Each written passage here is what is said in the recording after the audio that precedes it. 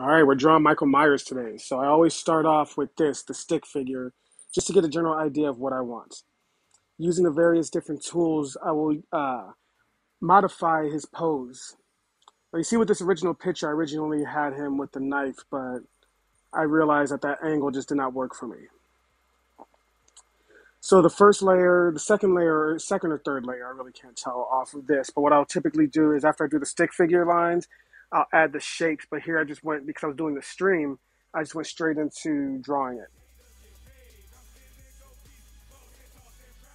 We have a lot of references in this. I used a reference, I ended up using a reference from this toy because I really liked the way that it looked. I really liked the pose that they put him in. And the other picture I used for reference, I just wanted to get on his mask. So here I'm using the G pen. Now I got to find a better pen to use because the G pen, it tapers off at the end. But I learned how to kind of control that or, or account for that when I draw. And I always draw my lines on a vector layer. Vector layers are going to help you manipulate without losing the size or the quality of what you're creating.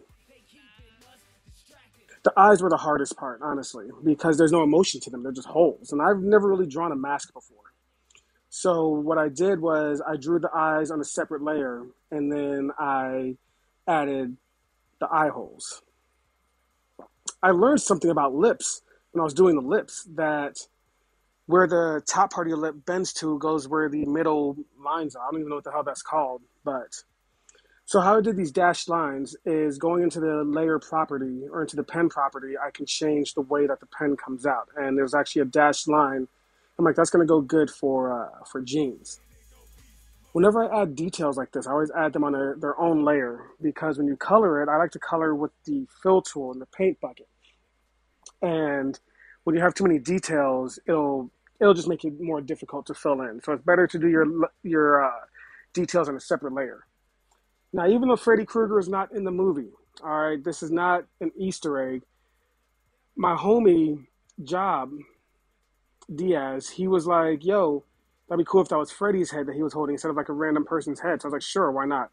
That random head was kind of looking like Ichigo from Bleach anyway, so. So when I before I add the colors, I'll add a base color to the whole background so that way you can see whatever bleeds through. And I use the blending tool a lot whenever I am adding my colors and everything. I've only started doing this recently. I'm still learning more about it. And as you see, after I added that line of that layer of color, I started adding even more details because the details are just going on top of that. with this Michael mask, there's a lot of damage, a lot of messed upness. I was trying to uh, emulate that as well. And then, like I did with my last picture, using the highlight tool really helps. That highlight is pretty awesome. It really gives a lot of nice, cool depth to things.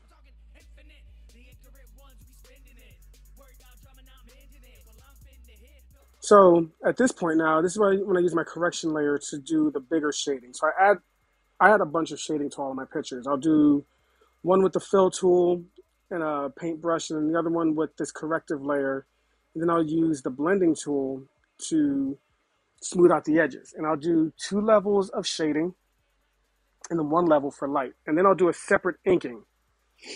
Inking I'm still getting I'm still getting the hang of because the problem when you do inking and shading is that it feels like you're losing parts of your picture. So I, I downloaded or saved a whole bunch of tutorials so that way I can hopefully learn how to be better at this. So how I added the blood. So first I went online and I looked up the blood color RGB so I can get that correct shade.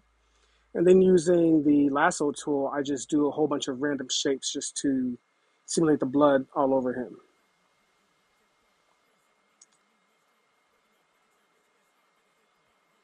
I decided when I was doing Freddy, after I fill in all of these uh, empty spaces, I was like, you know what? Let me take these black lines away because you notice on the picture, it just looks supposed to look like skin on the picture off to the right.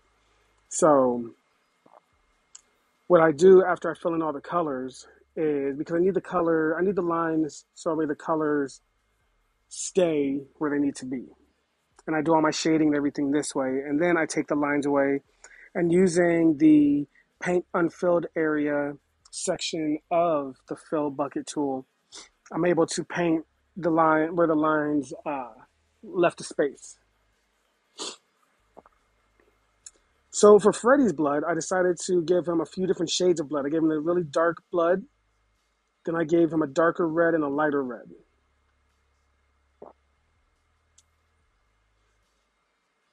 And then I went to, I'm not sure, I forget what this tool is called, but it's something that enables you to add a whole bunch of little dots. And that's what I did to add the effect you're going to see here soon, which is right here, those dots in between Michael and Freddy's head. It's a, it's a tool that literally is for blood splatter, which is pretty awesome.